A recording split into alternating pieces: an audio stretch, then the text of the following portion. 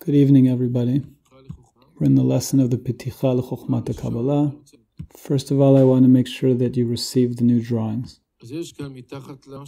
Underneath my picture, there's a link, and from that link, you can download the new drawings. I sent you two drawings. Let's look at the drawings before we learn the actual text. Please download the drawings. What do we see here? In drawing number three, we see here a spiritual level. Every spiritual level is comprised of head, body, and end. Rosh Toch Sof. We see on the right side of the drawing, it's written Rosh Toch Sof, head, middle, and end. The middle and the end describe two parts of the body. Like in material reality, a person has a head and a body. The body is divided. Now, why do we need a head and a body? Because each spiritual level needs a planning and a putting into action. אם למשל, ניקח את המשל של האורח ובעל הבית, If, for example, we take the example of the host and the guest שהוא אומר באות ט', that we talked about in 15, אז האורח דוחה את בעל הבית, the guest deflects the host, ועל ידי זה האורח מתהפך להיות, and through this, the guest becomes a giver, והוא החליט שהוא כן יכול לאכול את ה... and the guest decides that they are able to eat the meal. אבל היום נוסיף עוד נתון אחד. but today we're going to add another detail. And this detail is that the guest doesn't eat the entire meal, but eats some of the meal. Why? If the guest eats the entire meal, becomes revealed that the guest is really using a type of tactic the person deflected the host but really wants to eat everything. The point is that really the embarrassment doesn't go away if the person wants to receive. It only goes away if the guest wants to give. The question is if the guest can eat the entire meal in order to give pleasure to the host? No. Because don't forget that there is mixed up here two different forces. One force is the guest's appetite and hunger, desire to receive. The other force mixed up here is, is the embarrassment that causes the guest not to want to receive the meal. But the guest wants to eat only in order to give pleasure to the host. If so, then we see here in the drawing number three. We see in the head aspect there's two parts. The right part is direct light, and the left part is returning light. Please download the drawings through the link and it's worthwhile to print them. What is direct light we learned? Light that's drawing forth from the Creator to the created being. So we see here Keter Chochma Bina, Zeir Anpin, and Malchut. What we learned in number 5. Afterwards, when the light arrives to Malchut, the malchut is called mouth, the mouth of the head. And above it is a masach. What's the masach? The power of her deflecting the light. The hard decision she makes not to receive the light. And then we have on the left side the returning light that goes from below to above. From Keter to Malchut. So this represents the deflection of the light. We could add here that since it says that Malchut is called the mouth, the Peh, because all of these Sfirot are aspects of the head. So we could add to the drawing that the Keter is the skull, Chokhmah is the eyes, Bina ears, Zeir Anpin is the nose, the parts of the head, and Malchut is the mouth. So therefore in drawing number three, we see here the direct light, which is the Balabait wanting to give the light which is the which is God, Kodesh Baruch Hu. God wants the created being to receive and shines the light, the pleasure, whether it's in physicality or in spiritual pleasure. And then the masach that is on the malchut of the head deflects the pleasure. And then it becomes revealed the returning light. Now the guest that deflects the giving of the balabait, of the host, transforms to be giver.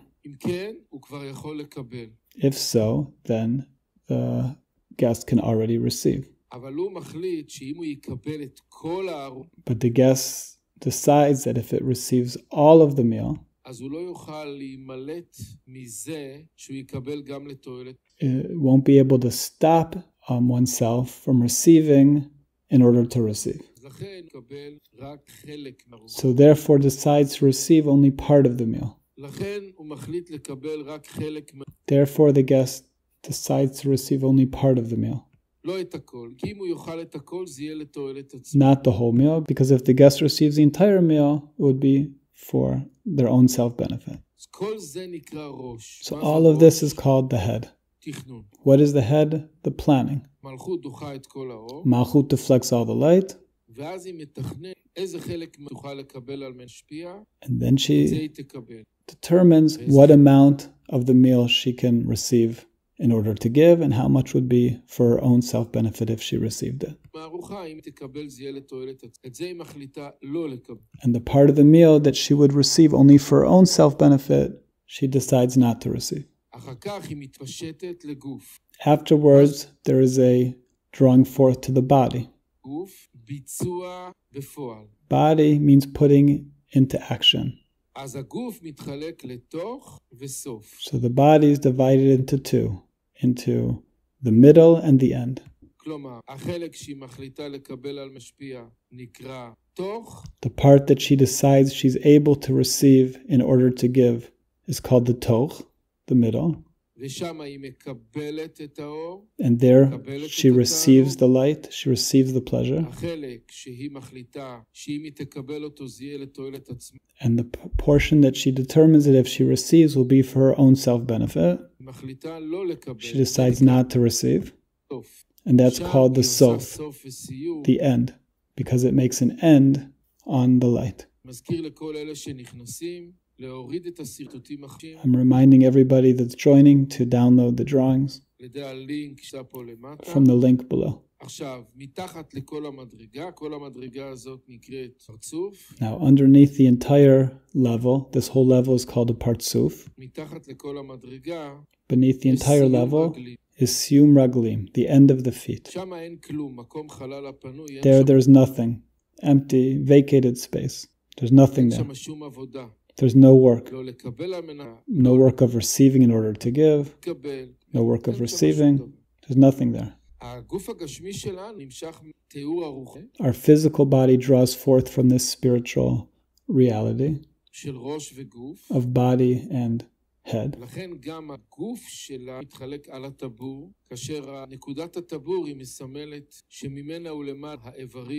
Therefore, also our body is divided by the belly from the point of the belly button and above is our more refined organs. What's called in the Zohar the life organs, the lungs, and similar. And from the tabor and below are the lower organs, which are called the organs of digestion, the sexual organs, the legs. That's drawing number three. If something's not understood in the drawing, please ask. The Rebbe says that the light is always drawing from Keter, which is God's desire to give goodness to creation. Goes through Keter Chochma Bina Zeir Anpin to the vessel, which is the being. And then Malchut deflects the light. The Rebbe says we'll now go on to drawing number four. In drawing number four, there's two parts. The right part is like drawing number three, there's no difference. We see the direct light coming from above to below, returning light being deflected from below to above, what we learned. יש לנו כאן מלכות המזדווגת, We have the Malchut here that is unifying, Malchut Mizdaveget. Then we have the body and the end, and we have a Malchut that is ending, Malchut Misayemet. אז זה סרטוט. This לא is a כתוב general בספירות drawing. אפילו. It's not even written the Sfirot inside. עכשיו, הצד השמאלי Now, the left של side שרטוט מספר 4 of drawing number four הוא קצת יותר מפ... is a little more שימו לב, developed. Pay attention. Before you learn the left side, we'll say something else. When the light draws forth to Malchut, the Malchut deflects the light. That's called the returning light that's deflected. Simply the same light that shines to Malchut as direct light, she deflects it. This deflection is called work. We need to remember well that Malchut is the big desire to receive, the maximum desire to receive. And she very much wants to receive the light. And even though she has this great desire to receive the light, she deflects the light. And this is work. In the drawing, we don't see the work, but we need to depict to ourselves that here at the Malchut of the Rosh, the Malchut of the head, is spiritual work. Now, that through this great spiritual work, the Malchut merits to a reward. What's the reward? The reward is the desire to give. This means the created being, from the side of its nature, is only the desire to receive. It's not revealed in the created being any desire to give. But through this work that it's doing, receives a reward. The reward is called desire to give. This reward is also called returning light, or chozer. Why is the desire to give called returning light? Because it comes through this that she's returning the light. So, therefore, the desire to give is also called returning light. Pay attention. In Talmud Eser Sfirot, it brings 12 types of returning light. And here in the Peticha L'Chokhmat Kabbalah, of course, we're not going to learn all that. We're learning here two. Not 12, but two. Which two? Simple.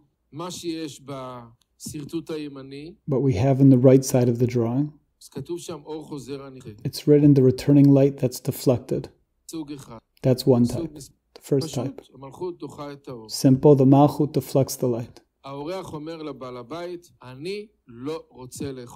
The guest says to the host, I don't want to receive the meal. Deflects the urging of the host. That's the first type. Now we're saying something new that we didn't say yesterday. What's the new thing?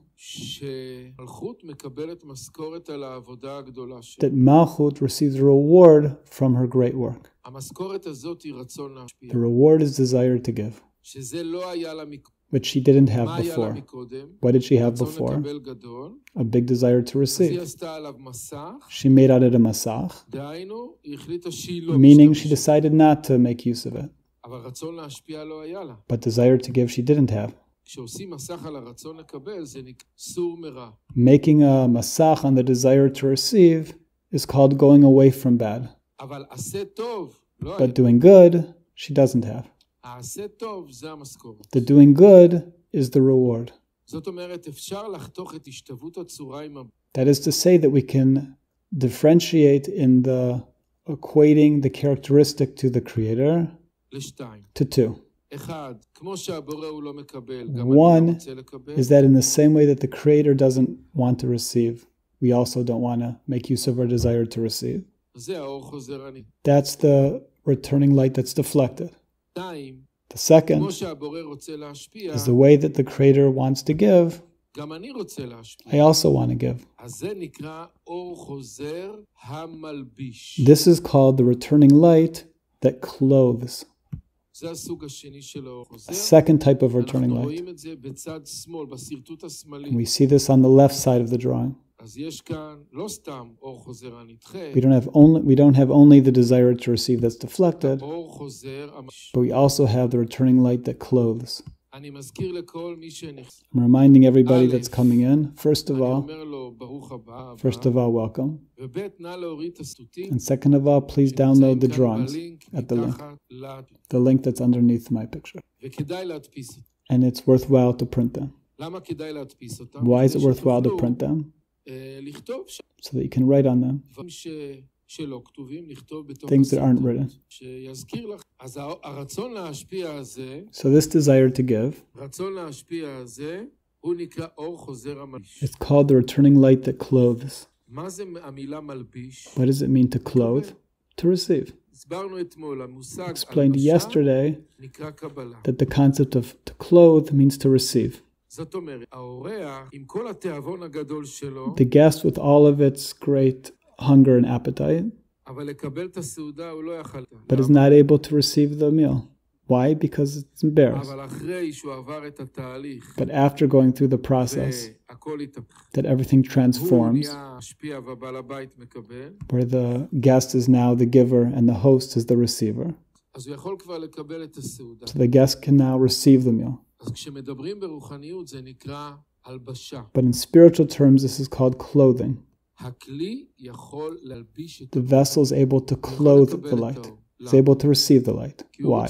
Because it wants to give.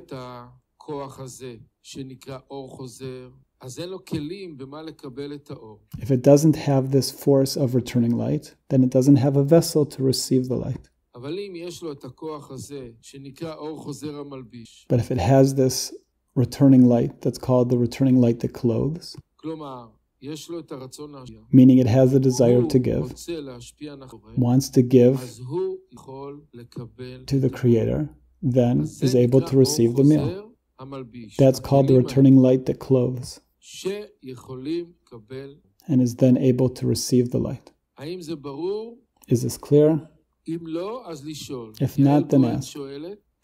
שואלת, כן. על ידי זה שהיא לא מקבלת, אז היא עושה עבודה מאוד גדולה. כי במלכות יש רצון לקבל עצום, אש תמיד תוקד על המזבח, לא תכבה. The Rebbe says that the Malchut is doing a lot of spiritual work not to receive the light. רצון לקבל, של תאוות, של שרים. אז זה לא פשוט לדחות את It's זה. not simple to overcome the desire to receive and to deflect the light.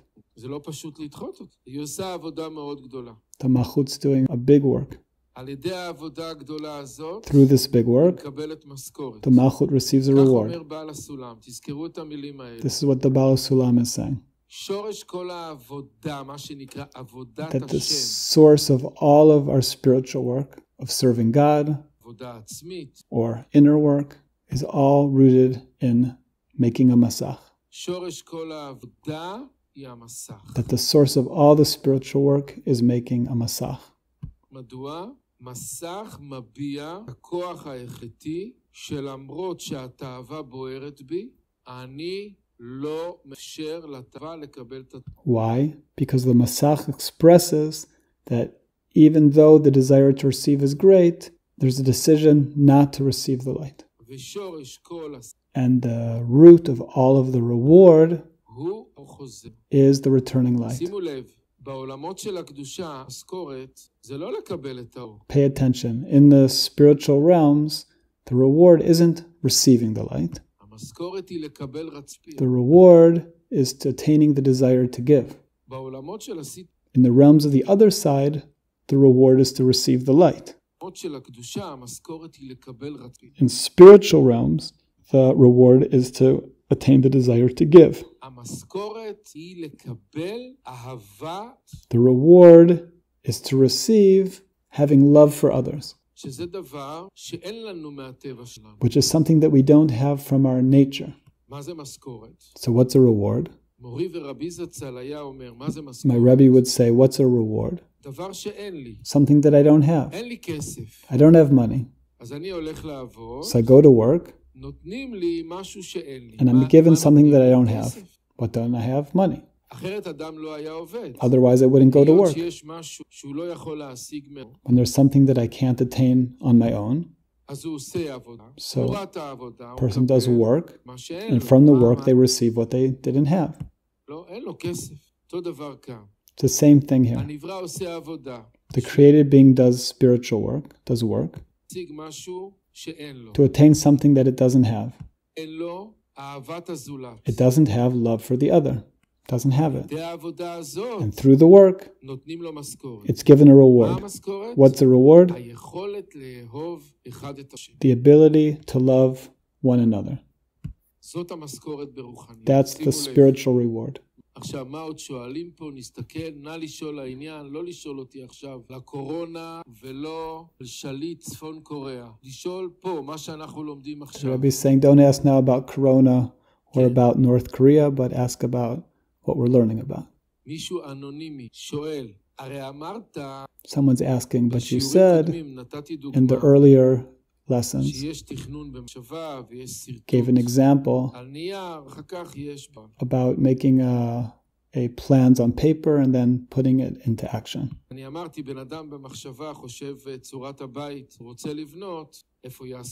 Rabbi is saying a person's putting on paper where they want to build the house. That's, when it's just on paper, it's forbidden to learn Torah where the bathroom will be. According to halacha, permitted. Only when there's actually a bathroom. Then a person can't learn Torah in the bathroom. Because it's not honor to the Torah. Not only is it forbidden when they're in the bathroom to bring a holy book there, but even, but even to think on Torah is forbidden because it's not in honor of the Torah.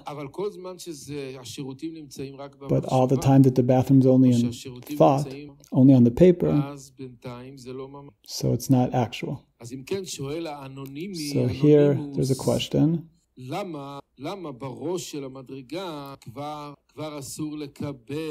So why in the head aspect of the spiritual level it's already forbidden to receive? because it's only thought. The Rebbe answers that it's this is the planning of what will be forbidden to receive. It's the planning. Only in the body does this actually come into action. It's only in the body that it actually receives in actuality, and so that's the place that it to flex the light in actuality. In the head, it's all still in the framework of planning. The Rebbe's asked another question. If it's possible through the desire to give to nullify the desire to receive, or there needs to be first going away from the bad and then doing good. The Rebbe says this is the progression in the spiritual realms.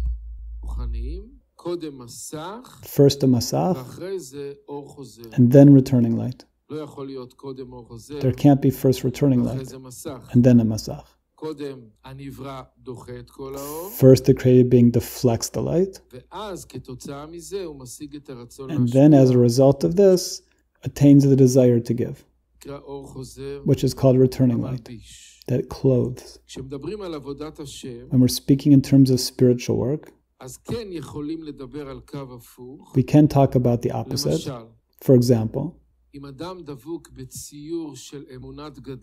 if a person is connected to a depiction of having a muna, belief in the exaltedness of God,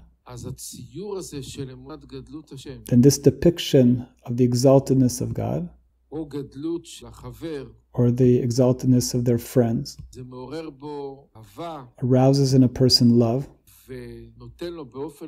and gives the person in a tangible way to feel the greatness of others, gives the person the ability not to act in relation to others in a way of receiving, but only in a way of giving.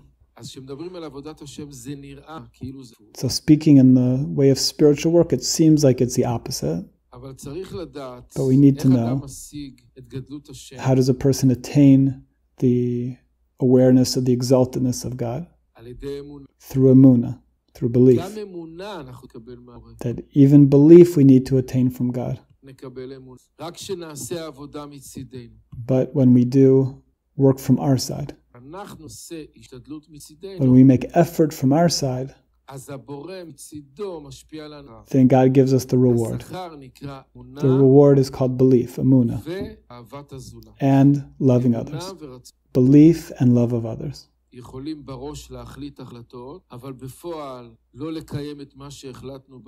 There's a question if we're able to make decisions in our mind, but then not be able to make those decisions come to fruition? The Rebbe says, Of course. That's called in spiritual terms the breaking of the vessels.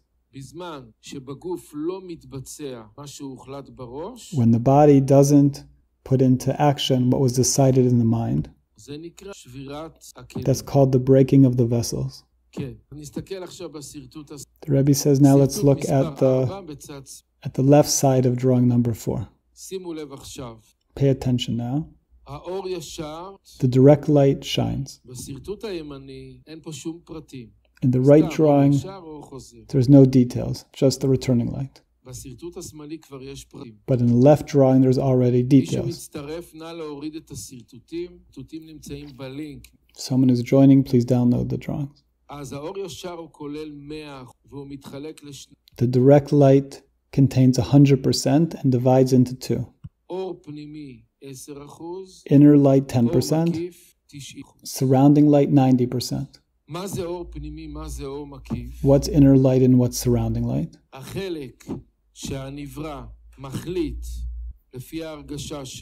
The part that the created being decides based on their feelings that they're able to receive in order to give, decides to receive. That's called inner light. That's the 10%. 90% the pleasure is too big. And the created being feels that if they receive this pleasure, it'll be for their own self benefit. So decides not to receive it. So therefore, it's called surrounding light. Now, the returning light that clothes, which is desire to give of the created being. Clothes on who? On the inner light. You can see the arrows from the returning light that clothes to the inner light. Meaning, the desire to give of the created being clothes in its planning 10% of the divine light. This is to say, I'm returning again. The guest that decides that it will eat from the meal in order to give pleasure to the host. But if the guest will fall on the entire meal, eat the whole meal, they'll fall to a level of receiving only for their own self benefit. So decides to go in a balanced way. The desire to receive wants to receive everything. And the desire to receive that wants to receive everything is in harmony with what the host wants. The host wants the guest to receive everything. But the, ho- but the guest is embarrassed. So the guest decides to receive a little bit, a compromise, the middle column what it's able to receive in order to give, it will receive. And what it can't receive in order to, res- to give, it won't receive because of its embarrassment. So this draws forth from the spiritual realms, meaning that there comes 100% of the light. There's a deflection of all 100% of the light. This is the right drawing. The returning light that's deflected is a deflection of all the light.